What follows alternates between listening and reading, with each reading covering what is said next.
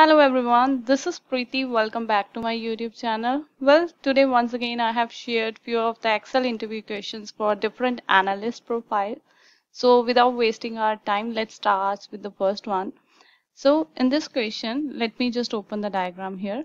So here are two buildings A and C and these two buildings have uh, you know more area apart from their building area means let's say these boxes are actually their building so A and C are the building owners of this building and apart from this building area, they have some more area uh, from the road. Like this is the building area for C as well as this is also the area for C.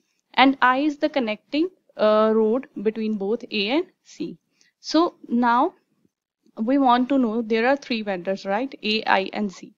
So we want, we just, there is a condition that if vendor um, is building owner then only then they can charge both fixed and variable. Otherwise can charge only variable. So here a and c both are building owner so they can charge both fixed and variable. Whereas i is not any building owner so he can only charge the variable not the fixed one. It's quite simple actually.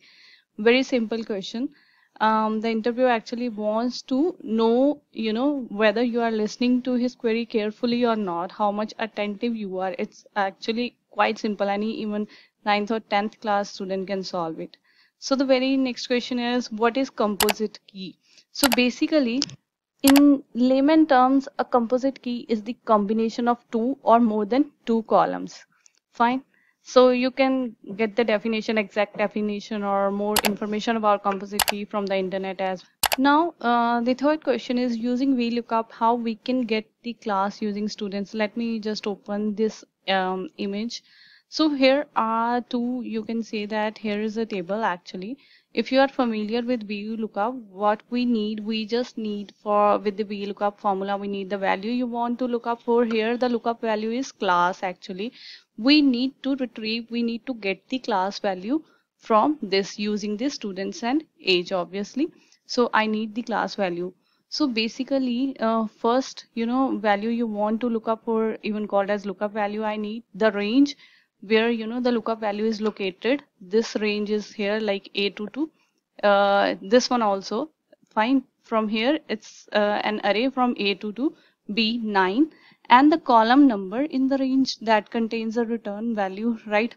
Obviously so here like a counts as the you know first column and b counts as the second column. If there are more you can count it as well so there is an, an optional obviously argument as well where you can specify true if you want an approximate match or you can even specify it as false. So here uh, one thing if we want to look up for uh, you know the value here we are clear that we need the class value.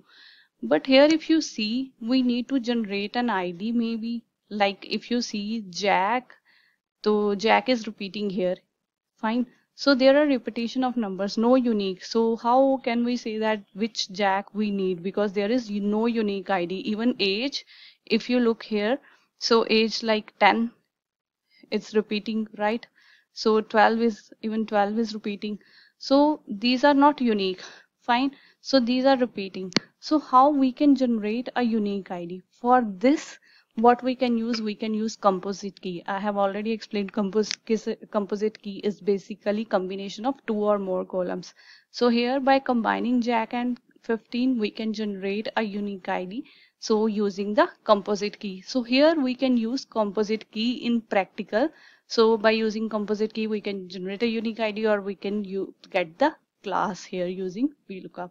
So that's all. Apart from these uh, apart from these questions there were certain more basic questions. I can say that theoretical or formulas related to VLOOKUP HLOOKUP pivot tables. If you are clear with the basic concepts if you are clear with the formulas then definitely you will be able to answer those questions that were quite simple actually. And that's all for today's session. If you gain something if you learn something new please like the video.